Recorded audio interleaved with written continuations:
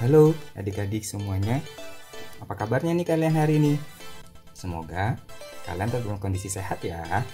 Dan tetap semangat belajarnya bersama saya Mas Dika Dika. Ya udah lama banget ya.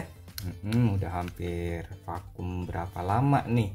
Nggak ngasih materi buat kalian. Nah hari ini kita akan coba mempelajari tentang hmm, uh, reaksi fotosintesis. Oke, coba dulu ya. Reaksi fotosintesis.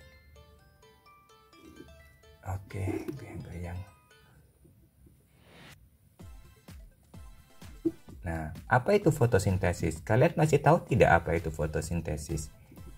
Iya, fotosintesis adalah proses pembuatan makanan pada tumbuh tumbuhan. Ya, proses pembuatan makanan pada tumbuhan ini nanti akan menghasilkan yang namanya karbohidrat dan oksigen. Nah, dalam reaksi fotosintesis, tumbuhan itu membutuhkan dua bahan utama. Apa saja?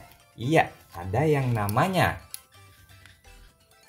H2O atau air ya.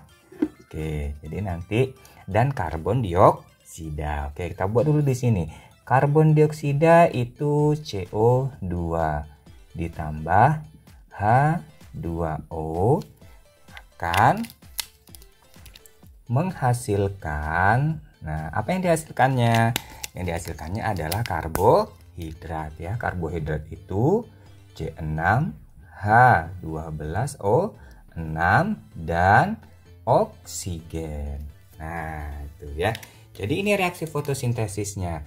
Jangan lupa reaksi fotosintesis ini nanti membutuhkan sinar matahari. Oke, kita buat di sini nanti sinar atau cahaya matahari dan proses terjadinya itu di klorofil. Nah, ini dia. Oke, jadi nanti inilah reaksi fotosintesis. Dengan adanya fotosintesis ini, makanya seluruh hewan dan manusia itu dapat hidup. Kalau tidak ada reaksi fotosintesis, tumbuhan tidak bisa hidup, manusia dan hewan juga tidak bisa hidup. Oh iya, coba kita ulangi lagi. CO2 ini tadi apa namanya? Iya, benar. CO2 ini namanya adalah karbon dioksida. Oke, kakak buat di sini aja ya. Coba di sini ya. CO2. Nah, CO2 ini nanti disebut dengan karbon dioksida. Oke, tidak susah ya spidolnya. Karbon dioksida.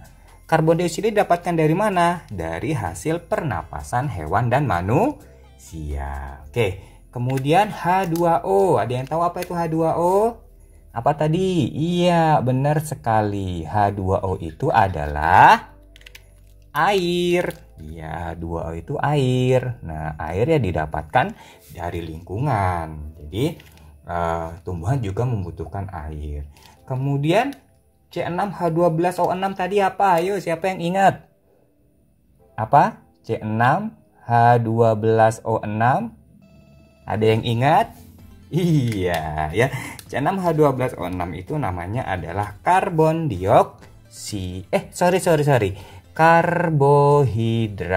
Maaf ya, karbohidrat bukan karbon dioksida. Karbohidrat inilah yang digunakan oleh hewan dan manusia nanti juga untuk sebagai sumber te tenaga.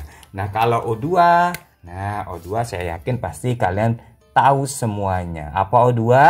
Iya, O2 ini adalah oksigen. Nah, oksigen inilah yang digunakan oleh manusia dan hewan untuk ber bernafas. Oke, gimana? Sudah paham tentang reaksi fotosintesis? Oke ya. Nanti kalau ada yang mau ditanyakan, silahkan ditulis di kolom komentar. Sampai jumpa di pertemuan mudah kita berikutnya. Bye-bye.